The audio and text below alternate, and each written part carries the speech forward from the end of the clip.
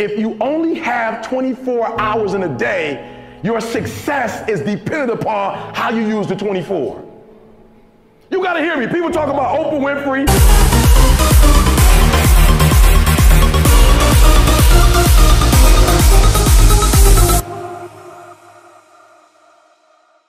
Uses her 24 hours wisely.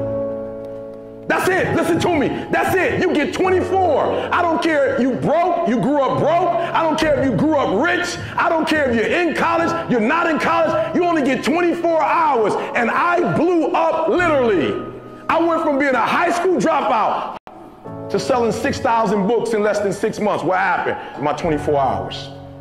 I was like, okay, Eric, you got to get a grip on your 24 hours because you're about to be broke for the rest of your life. And that's all I need you to do for me. I can tell you all about your life if you just write down your 24 hour schedule for me. And you let me look at it. I can tell you where you're going to be in five years. I can tell you where you're going to be in 10 years. I can tell you where you're going to be in 20 years if you keep that schedule.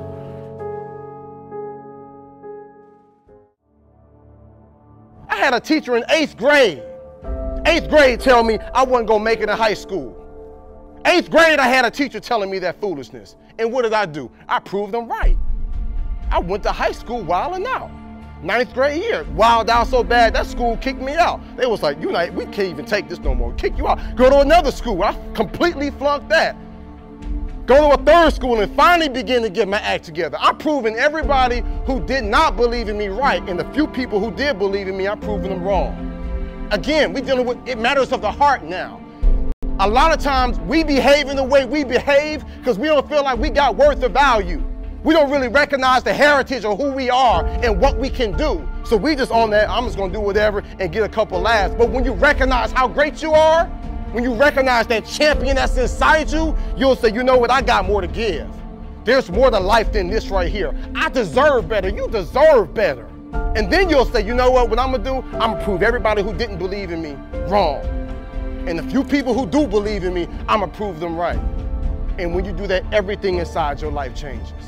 I just start saying, before I make decisions, I just start saying, okay, is this gonna make my mama proud? Or all the people that's hating on me, is this gonna make them say, see, I told you.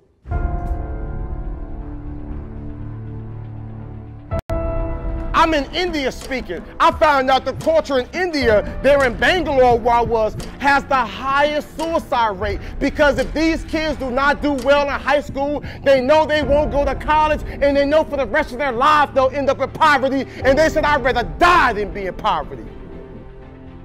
That's what you call desperation.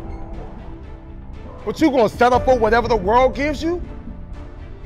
You gonna settle for living how your mom and dad live now? I'm telling y'all, my young friends, you ain't gotta settle for that. मैं सोचती थी अब मैं कुछ नहीं अब मैं पढ़ के कुछ बन के दिखाऊंगी सबको दिखा दूंगी मैं कुछ बन सकती हूँ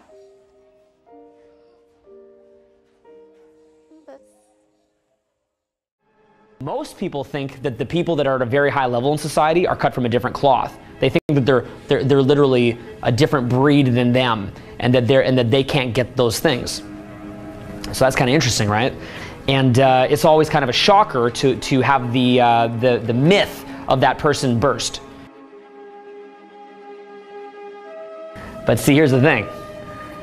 Although we're not cut from a different cloth, the fact that I mastered consistency is the difference. And most people will never do that. No one wants you to succeed, right? Only your mom. And even your mom doesn't want you to succeed because she's afraid you're not going to call her back. Your brain doesn't want you to be a big success. Your brain just wants to keep you alive. All your brain wants you to do is just pump out one or two kids so the DNA can continue on. That's it.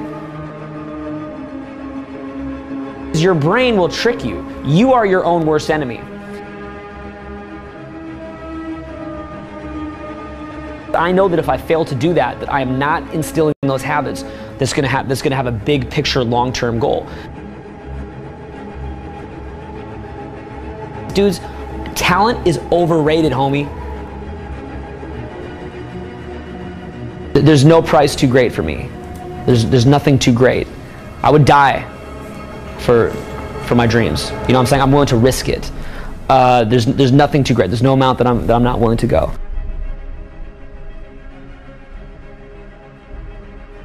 You can accomplish anything you want, man, if you're willing to do it.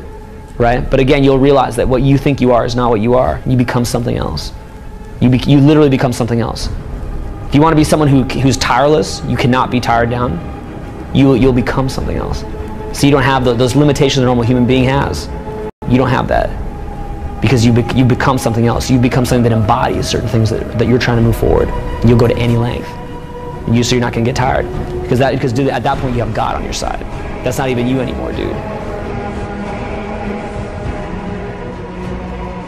Big. It's like you know how what I do is I focus on maybe one or two or three things at a time, and then I just do it. And then I get that done, and then I do the next thing. And then I get that done, and then I do the next thing. No one's gonna put you on. You got you have to put yourself on. No one's gonna put you on. So you, so you make that choice. You just do your small tasks and you do it. But see, no one wants to hear that. Success is about just quiet little actions getting rid of anything that's unnecessary.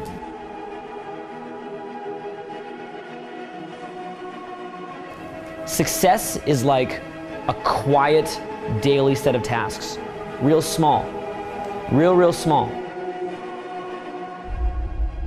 It's very quiet. It's a, it's, a, it's a very quiet process where you're just drawing your state from within yourself, doing these like simple little tasks, but finding love in those simple little tasks. It's not this big rah rah speech where you do this one thing and something big happens. I'm tired. I don't want to do it. And I got a million reasons not to do it. But what I do is I make the choice that I say, if I can't make myself go do this, how am I going to live my dreams? I have found that if I miss one day, I'll miss every day.